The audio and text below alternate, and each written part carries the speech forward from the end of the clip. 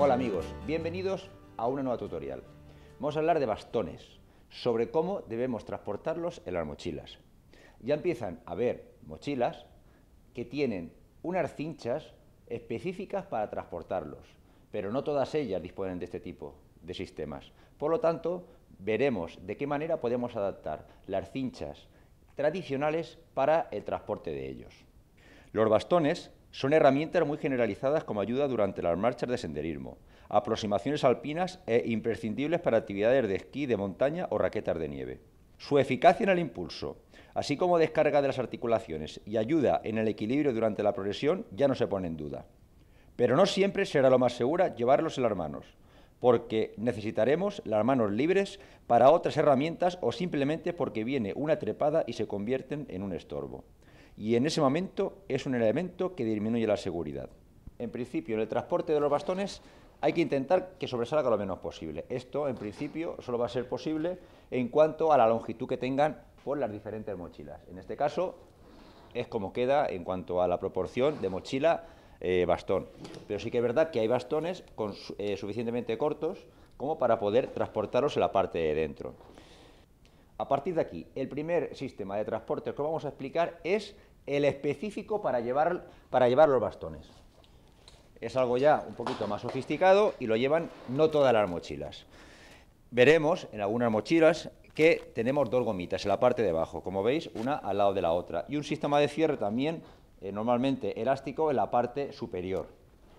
En este caso, el bastón en su punta iría metido por la parte de la gomita de la parte de arriba, que como veis es elástico, y el cierre de la parte de arriba, lo cogería y tiene el sistema de apriete. De esta manera, pues el bastón queda metido en la parte de abajo.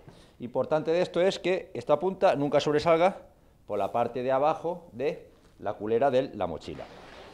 En este caso vemos también otra mochila que lleva el mismo sistema y hemos colocado las dos, los dos bastones cerrados igualmente por la parte de arriba.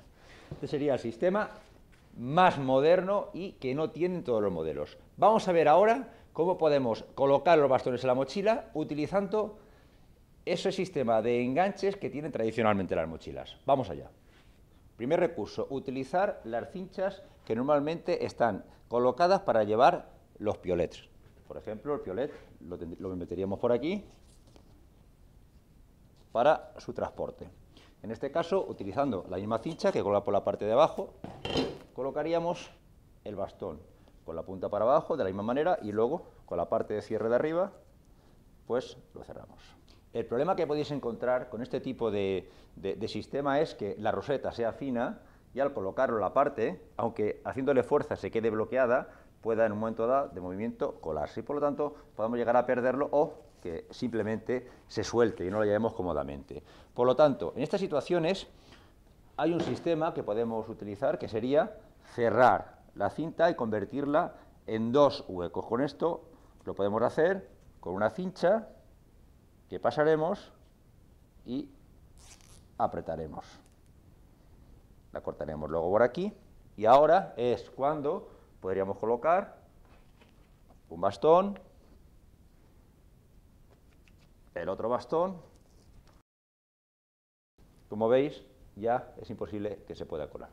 Y por último, las cinchas de compresión para transporte de los, bastones. En este caso, sería aconsejable que llevaran siempre la, la dragonera. Ahora la punta va a ir hacia arriba. ¿Por qué? Porque necesitamos utilizar la cincha de abajo para pasarla a través de la dragonera. Cerramos y de esta manera conseguiremos que nunca pueda caerse el, bastón. Es importantísimo, por seguridad, que nunca se pueda caer. Una vez que lo hemos colocado, queda cerrado y queda para transporte. Cuando las puntas queden para arriba y sobre todo cuando vayamos con grupo, siempre, en todo momento, utilizaremos tapones que protejan los picos, ya que esto, en un giro, si sobresalen excesivamente, pueden eh, provocar daños a nuestros compañeros.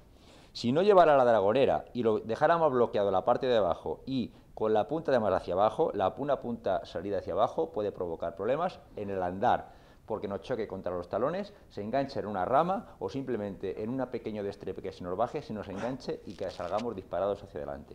Por lo tanto, es muy importante que cuando utilicemos las cinchas de transporte, de las cintas de compresión laterales, no pueda el bastón caer en ningún caso. Por ejemplo, otro recurso, mochila eh, también con la cinta de compresión, pero solo lleva una cinta en la parte de arriba, pero abajo lleva un bolsillito, colocamos exactamente igual, cerramos y comprimimos. No se puede caer para abajo, que es lo, más importante para no, tener problemas. Y la punta la tapamos. Tienes que conocer tus bastones y tu mochila y automatizar el gesto para ponerlos y quitarlos. Esto hará que cuando lo necesites no te pongas a pensar y a sacarlos rápidamente. Y exactamente lo contrario, cuando no los tengas que utilizar, a ponerlos y transportarlos adecuadamente en la mochila. Esto es seguridad. Ayúdanos a hacer las montañas más seguras.